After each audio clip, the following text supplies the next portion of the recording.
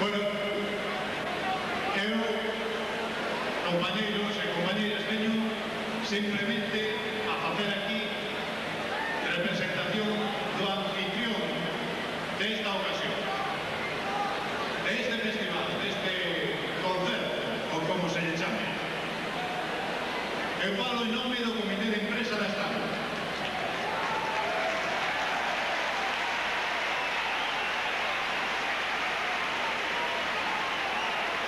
pero non ainda non acabei.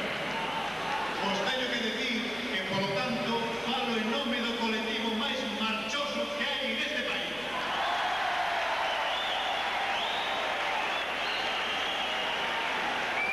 E vos vou decir que hai que esta marcha que non a vamos a parar e non hai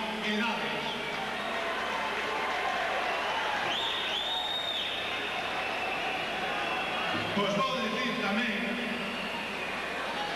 que isto que sucede hoxe nosotros o propoñemos e o realizamos e estades aquí porque queredes, claro. Porque está sucedendo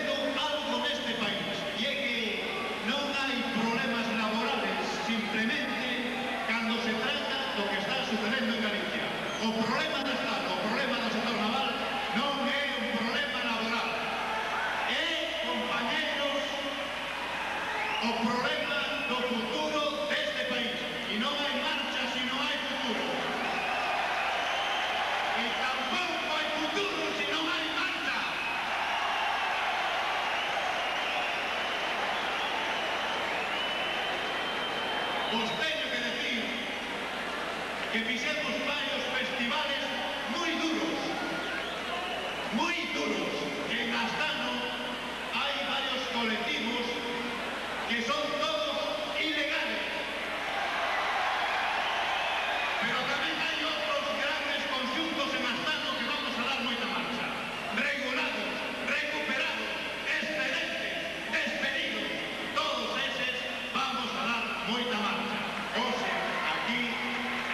Os queremos decir que para o comité de empresa non importa política.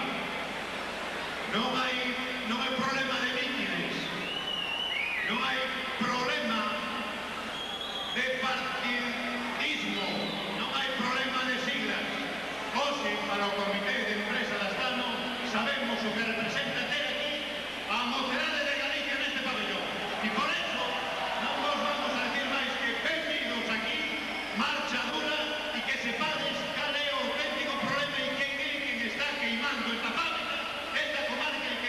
el a marcha de este país.